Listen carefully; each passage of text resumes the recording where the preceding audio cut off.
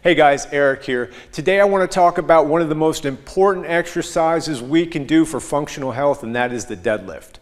But right off the bat, I want to make a very clear distinction. We're not doing a strongman or a power deadlift. We're doing a functional deadlift. In power lifting, you might be picking up some really serious weight off the ground. The posture and the mechanics are different for that lift than what we're going to be going over. The purpose of our deadlift is going to be to create more midline stability, which is basically the idea of me being able to hold my back in a straight, strong position as well as posterior chain functionality, which basically just means the back of my body is moving in the range of motion that it's supposed to and that it can stay strong to protect and keep the spine healthy.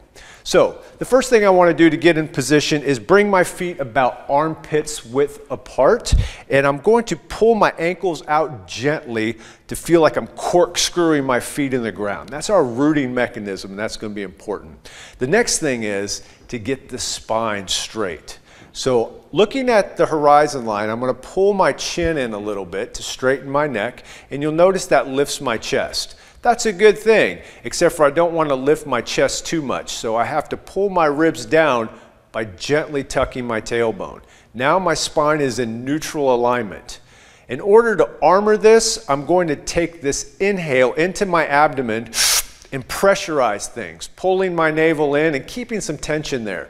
Now, from there, I'll be bending my knees and sitting back towards my heels as my hands drop in front of me.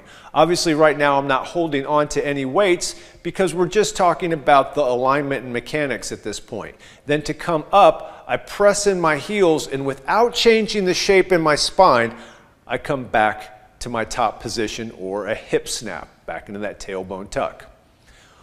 When I have weights in my hands, they are going to be encouraging the shoulders forward.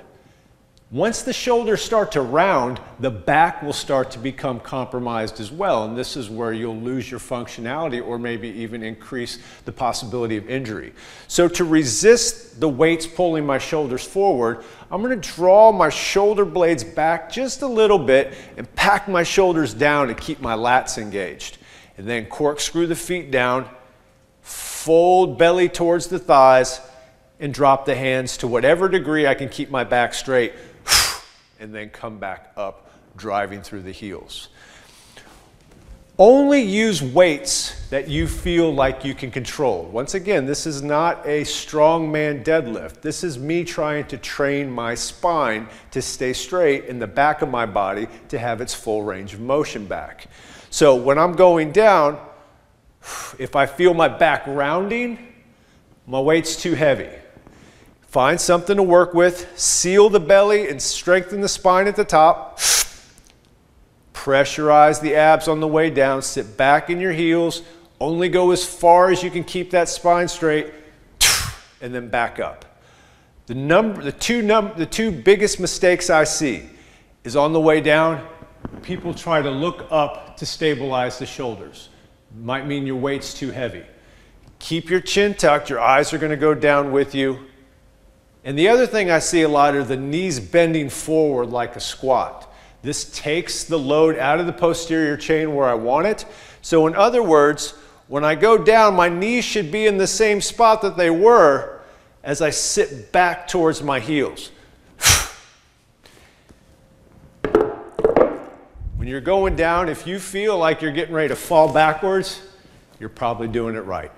We're not wearing a weight belt because we want to strengthen the core muscles around the lumbar spine. And if we concentrate on keeping that spine straight and having the right weight, that's exactly what we'll be doing. Please remember, this is not an exercise to see how strong you are and how much you can lift. It's an exercise designed to test the midline stability and the lengthening and functionality of the back of your body.